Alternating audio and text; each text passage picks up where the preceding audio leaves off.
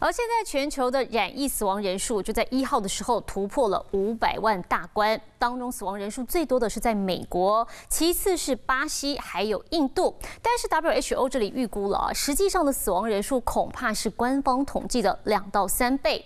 新冠病毒甚至已经成为全球第三大死因。但随着疫苗接种人数越来越多，对于疫情方面还是有帮助。接下来这全球疫情会如何发展？继续是我们的报道。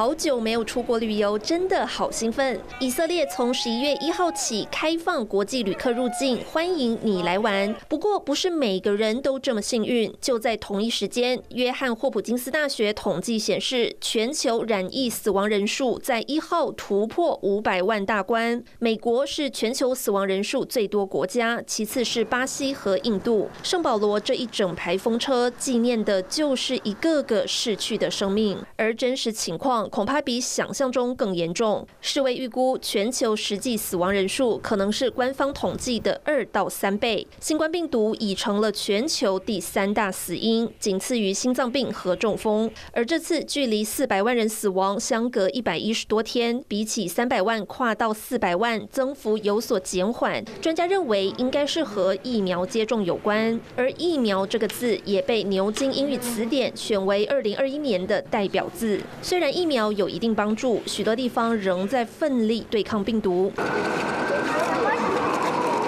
隐约听到救护车声响，俄罗斯单日确诊不断创下新高，疫情压不住，现在全国停班一周，希望大家少出门。Я считаю, что это совершенно не поможет. Я в принципе не верю, что подобного рода ограничения как-то могут помочь. Как бы нерабочие недели люди работают. Вот.